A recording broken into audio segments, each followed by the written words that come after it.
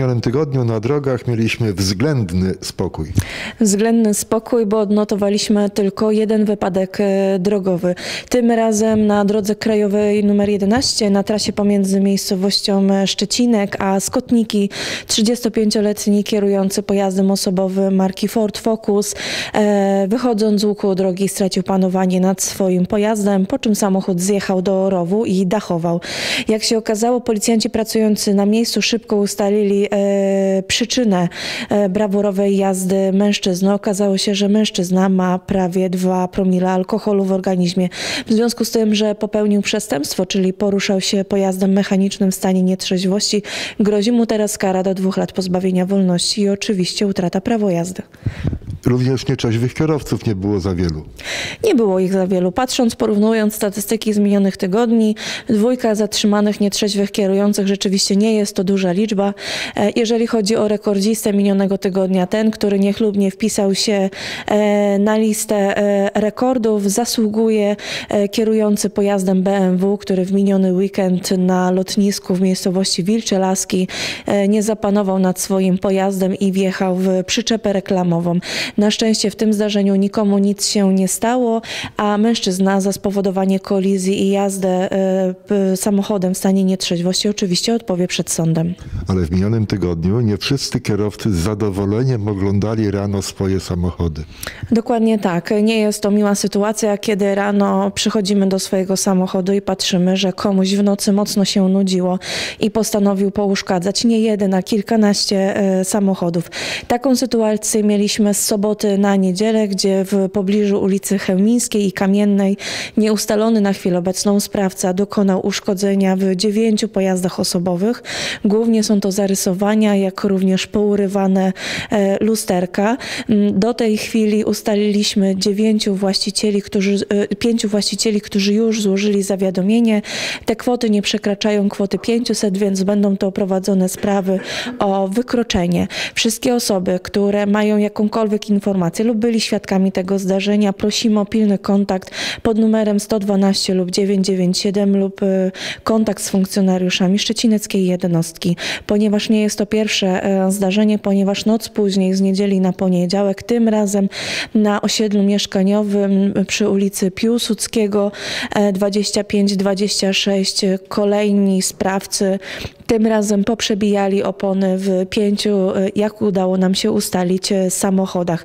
Tutaj również policjanci przyjmują zawiadomienia o wykroczeniach, jak również e, przepytują mieszkańców pobliskiego bloku, czy owej felernej nocy nie widzieli lub nie usłyszeli nic niepokojącego. Również wypoczywający w Bornym Sulinowie też z niepokojem oglądali swój samochód rano. Dokładnie tak. E, Wypoczywający przyjezdni goście w jednym z ośrodków e, wczasowych na terenie gminy Borny Sulinowo, e, sprawca wykorzystując ich sen w nocy dostał się najprawdopodobniej przy użyciu dopasowanego klucza do ich zaparkowanego pojazdu marki Volkswagen Charant, skąd dokonał zespolonej kradzieży zespolonej nawigacji z radiem, które właściciele wycenili na kwotę 5 tysięcy złotych. Przypominam tylko, że za kradzież z włamaniem grozi nawet do 10 lat pozbawienia wolności.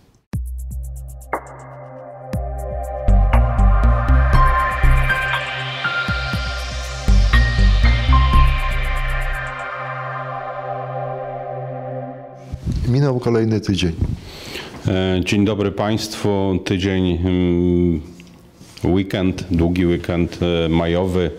E, Na szczęście minął dosyć spokojnie, za wyjątkiem powiedzmy zdarzenia, które miało miejsce na ulicy Piłsudskiego, związane z poprzebijaniem e, kół w samochodach, opon w samochodach i wcześniejsze zdarzenie polegające na niszczeniu samochodów przy ulicy Chełmińskiej zarejestrowaniu bójki przy ulicy Ordona no, większych zdarzeń nie mieliśmy. Z drugiej strony trzeba pamiętać, że żadne służby w żadnym kraju nie są w stanie być na każdym rogu. E, No, pomimo tego, że jak na miasteczko mm, tego typu wielkości e, kamer mamy bardzo dużo, mm, to jednak no, nie da rady, żeby były wszędzie i wszędzie można było obserwować zdarzenia. Z drugiej strony dziwi fakt, iż e, szczególnie na ulicy Chemińskiej naprawdę mieszka bardzo dużo osób, a nikt nic nie widzi, nikt nic nie słyszy. A mm, niszczenie lusterek, kopanie po samochodach naprawdę nie odbywa się po cichu. Można coś zauważyć, można e, przy odrobinie chęci wykręcić numer 112 czy do nas e, 986 i poinformować, że coś się dzieje niedobrego. E, Chciałbym powiedzieć o dwóch zdarzeniach, które miały miejsce na terenie Szczecinka, były związane z naszą pracą, między innymi e, 25 kwietnia o godzinie 21.55 do Dyżurnego Straży Miejskiej zadzwoniła kobieta informując, iż e, widzi biegającego samopas psa Stafa na ulicy Kamiennej. Byliśmy wcześniej uprzedzeni, iż na teren Szczecinka są podrzucane psy e, nawet z dosyć odległych miejscowości, bo e, mieliśmy sygnał o podrzucaniu psów z terenu Białogardu, Koszalina czy nawet Gorzowa Wielkopolskiego. E, Tym razem dyżurny sprawdził e, dzwoniącego. Okazało się, że dzwoniącą okazało się, że wprowadziła dyżurnego w błąd, podając fałszywe dane. E, Na miejsce pojechał patrol mieszany, złożony z, ze strażników miejskich i policjanta, który zabrał psa celem przewiezienia go do schroniska. Natomiast zgłaszające kobiety, bo po chwili od tamtej zadzwoniła druga kobieta, która poinformowała dyżurnego, iż psa tego trzyma mm, no właśnie przy ulicy Kamiennej. Obie kobiety zostały wylegitymowane, jak się okazało, wprowadziły w błąd zarówno policjanta, jak i strażników miejskich, podając fałszywe dane. Mm, Po sprawdzeniu i pouczeniu ich, e, że popełniły wykroczenia, a nawet przestępstwo polegające na znęcaniu się nad psem, gdyż podrzucanie, porzucanie psów jest formą znęcania się, e, w końcu podały prawdziwe dane.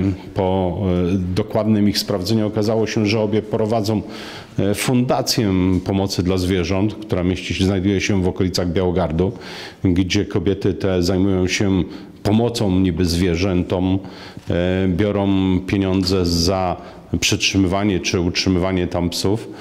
Natomiast psy, z którymi nie są, czy, czy w grę wchodzi włożenie pieniędzy na ich leczenie, po prostu podrzucają na terenie Szczecinka. Tym razem im się nie udało. Mam nadzieję, że e, schronisko m, które będzie występowało tu w charakterze strony i, i, i złoży zawiadomienie o przestępstwie odpowiednie. Mm, Służymy oczywiście materiałami w tej sprawie. E, Tu chciałbym przypomnieć, że podrzucanie, porzucanie psów jest przestępstwem. Jest to forma znęcania się nad zwierzęciem, za którą grozi kara do dwóch lat pozbawienia wolności. Mam nadzieję, że przynajmniej te dwie zostaną mm, no, trochę nauczone rozumu. E, 30 kwietnia około godziny 16.25 dyżurny Straży Miejskiej otrzymał e, znowu zgłoszenie e, od e, przechodnia, iż na ulicy 28 lutego na terenie po byłej komendzie powiatowej policji w Szczecinku znajduje się kaczka wraz z 12 kaczętami. Na szczęście zgłaszający poczekał na e, patrol Straży Miejskiej i wskazał miejsce, gdzie przebywają.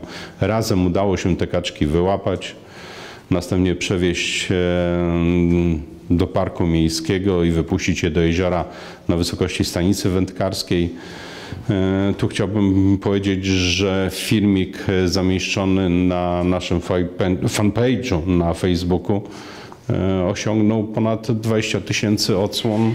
No jest to bardzo dużo, a świadczy o zainteresowaniu ludzi takimi zdarzeniami i pozytywnym odbiorze też biorących udział w tego typu działaniach, akcjach, pomocach, pomocy zwierzętom. Także to były takie dwa zdarzenia, o których chciałbym zasygnalizować z ostatniego tygodnia. Dziękuję bardzo.